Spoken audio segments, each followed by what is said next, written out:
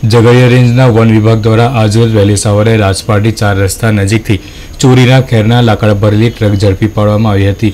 One વિભાગમાંથી પ્રાપ્ત વિગત અનુસાર ઝઘડિયા ફોરેસ્ટર એસબી વસાવના માર્ગદર્શન હેઠળ આ કામગીરી કરાઈ હતી, જેમાં વન વિભાગને બાતમી મળી હતી કે ખેરના પ્રતિબંધિત લાકડા ભરેલી ટ્રક રાજપીપળા તરફથી રાજપાટી તરફ જઈ રહી હોવાનું જાણવા મળ્યું હતું.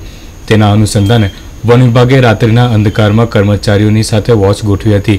તે દરમિયાન આ ચોરીના ખેરના લાકડા ભરલી ટ્રક નજરે પડતા ફિલ્મી ઢબે પીછો કરીને રાજપાટી ચાર રસ્તા નજીક આંતરીને ટ્રકને ઝડપી પાડી હતી, જેમાં ખેરના લાકડા કિંમત રૂપિયા એક લાખ બોતેર હજાર અને ટ્રકની કિંમત એક લાખ પચાસ હજાર આમ કુલ મળીને ત્રણ લાખ બાવીસ હજારની કિંમતનો મુદ્દામાલ જપ્ત કર્યો હતો.